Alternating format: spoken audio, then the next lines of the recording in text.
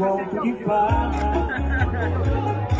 Vem o carpinteiro, Ai, bicho, tá igual aqui. sozinho Ai, tá Vem, vem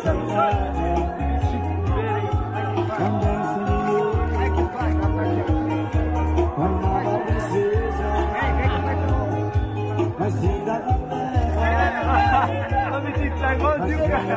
Bora, podemos tirar foto.